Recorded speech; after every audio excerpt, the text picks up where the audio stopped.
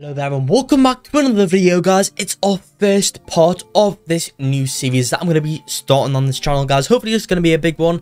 This is my um, beginner to pro Roblox script tutorial series guys. This is the beginner like section of this series right now guys. I will be doing like a beginner one, an intermediate one and an advanced um, like playlist group guys. So this is the beginner section of course and into this video we're just going to be running through the basics of Roblox Studio to get you guys a little bit more um knowing what everything does guys. So even if you are a little bit used to roblox studio as well i recommend watching because i do aim to actually at least include include one thing which a lot of you more um knowledgeable like knowledgeable developers may already know about guys. So yeah make sure you do watch it all the way up until the end because there will be a few tips and tricks which i will give you guys which you probably are going to want to use definitely during your roblox studio development um journey guys which is going to be quite nice. Before i start anything off over here and actually get on into all this i first need to go and tell you a little bit about rblxcodes.com that's my own roblox code website where you can find out game codes music codes and guides and there's tons of stuff in there that you guys have to check out.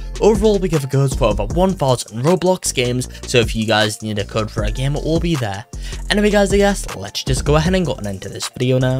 So, this is a basic um, video today guys, so we're going to start off with the complete basics right now. So when you load in a Roblox Studio over here, you'll have a plus new section right now guys, where we can browse through a bunch of templates over here guys. You have a bunch of um, Roblox starting places right now, guys, which is kind of cool.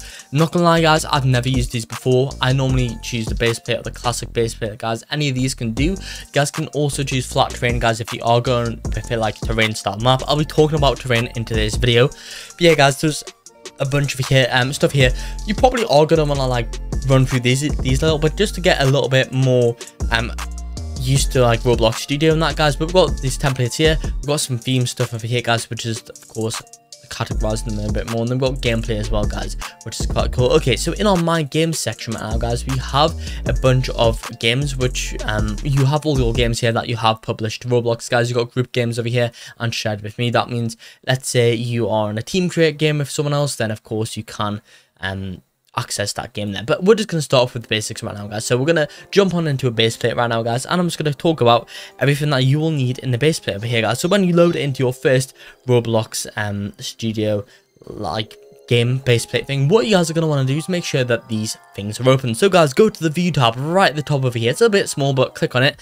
Then you want to open up these three things. These are very, very important right now, guys. So we have the Explorer.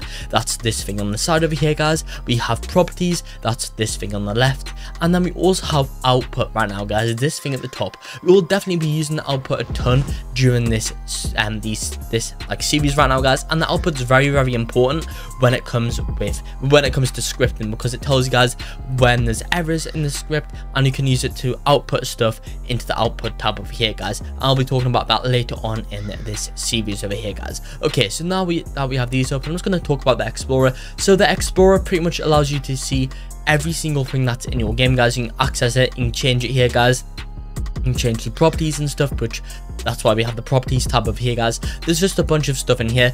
In this you can like add stuff but if you just click on the add button there's a bunch of stuff right now guys which you can add into into your game right now guys. I will not be going through all these in this script and in this one video over here guys but we will cover a lot of these during the series. Um but pretty much guys you can add stuff like parts a part is pretty much just a brick guys. So if we quickly come to the part right now guys um as you can see here here's the part. And one of the hotkeys that i like to use is f. So if you ever select thing on the right and click on f it will bring your camera just to where the part is guys which is quite cool. Okay so we got that bit right now.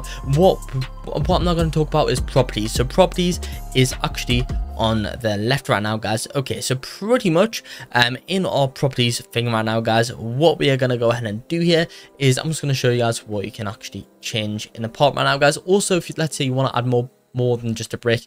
You can slick, uh, click on the slide down button right now, guys, and add like you can add balls, you can add cylinders, wedges, corner corner wedges even guys so yeah, there's a bunch of stuff that I can add but let's go for the properties now. So the properties of an object pretty much let you change a lot of things about it guys. First things first you guys can change the appearance of it. If you want to change the color you just select this and you can change the color right now guys. Any color you want.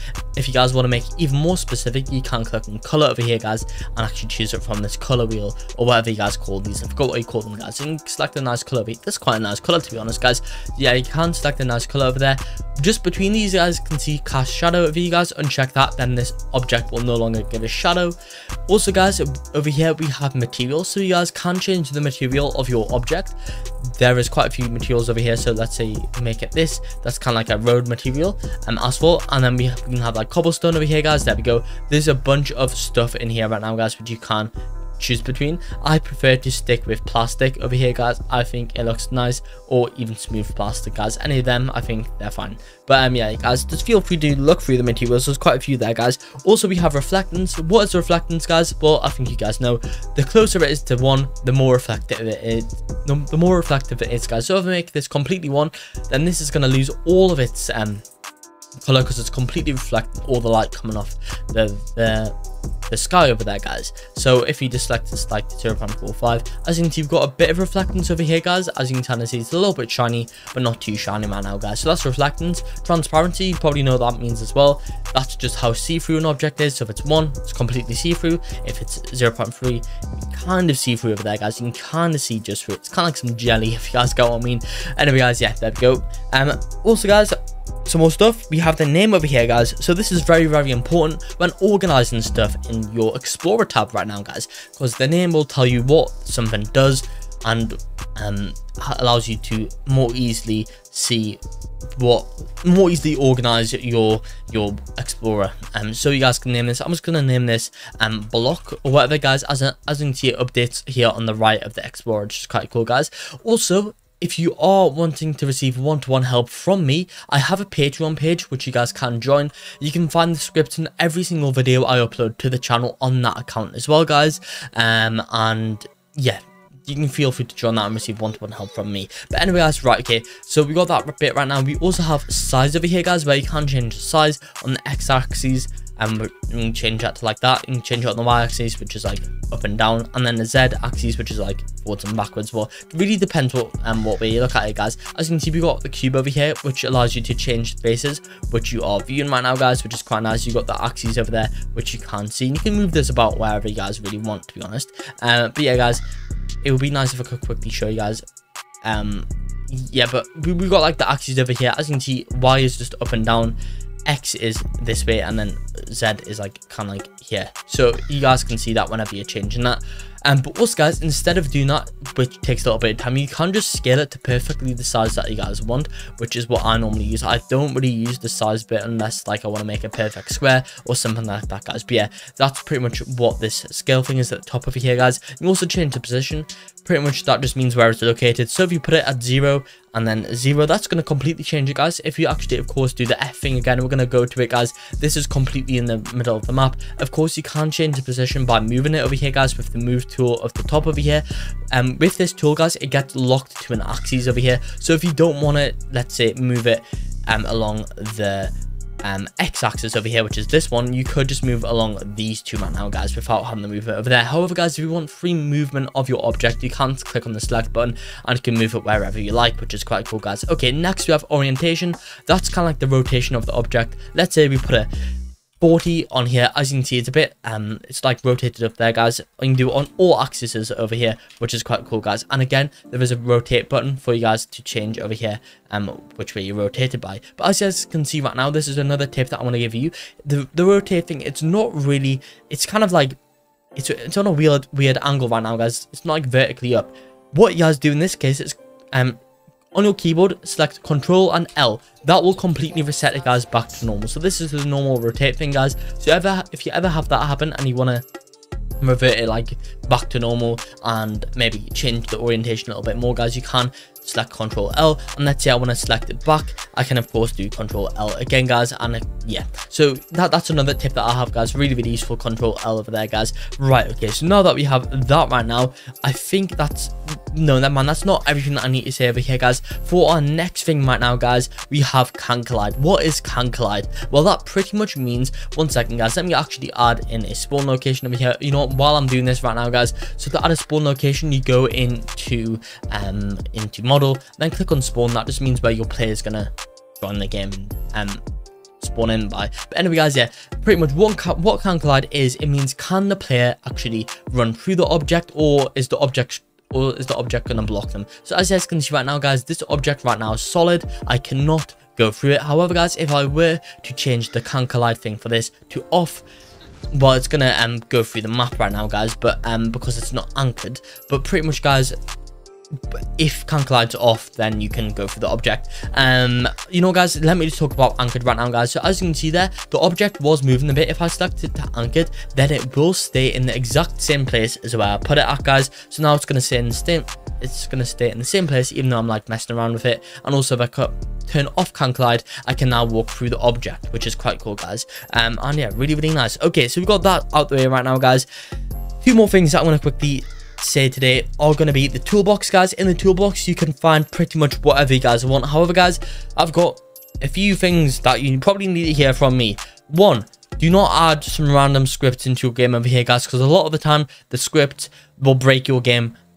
Sometimes they try and like mess your game up guys on purpose. A lot, lot of the time there's not very nice scripts in there, guys, so I would be careful when adding stuff from the toolbox over here, guys. It is quite useful. Let's say you want to learn how some like scripting things work, you can you, you can just put an item from the toolbox over here guys and just look at the script. But also guys quite useful. Let's say you just want to make something really quick and just to test with guys you can add like buildings and that sort of stuff. Um if it does have a script in there guys it will say um when you add it to your game this includes some scripts guys. If you don't want it to include scripts then just don't add it guys. But yeah that's how you know if it will con contain scripts. Um but yeah toolbox it's quite useful.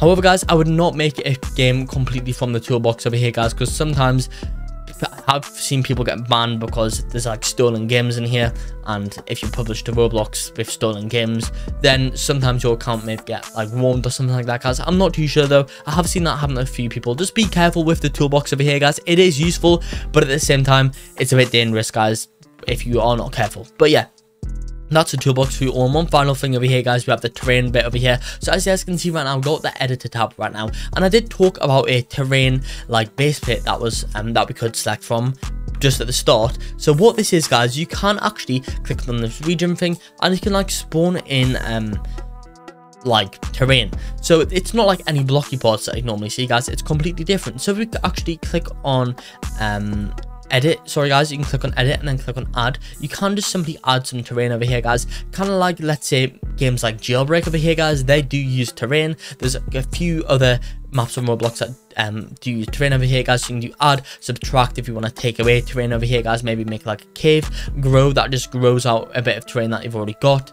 Um erode just makes it go down pretty much guys. We've got smooth over here guys so if you want to make it a bit smoother right now as you can see it's quite like well it was quite as you can see here it's quite like a sharp indent over there guys. We can use smooth just to smooth that out a little bit guys which is quite cool. Um and then of course we have flatten if you want to completely flatten a bit over here guys as you can see completely flat right now guys. And then paint let's say you want to paint a, a new color. Let's say i want to paint this is glacier color. You guys can use the paint tool. Sea level you can just create like where your sea can spawn a with you, can, you guys can just mess around with this. It's not too hard to um it's it's quite easy to learn guys the terrain editor you make some quite cool stuff with that guys. But yeah that's pretty much part one of the beginner roblox studio um scripting tutorial series guys. There was no scripts in today's video but a very important one um for you all just to get your just get hung um with roblox studio over here guys and just know how it works pretty much guys. But yeah next video will definitely be a more entertaining one guys. We will actually be getting onto scripting some stuff which is quite nice. But that's going to be it for this video here. Again if you guys any need any help from me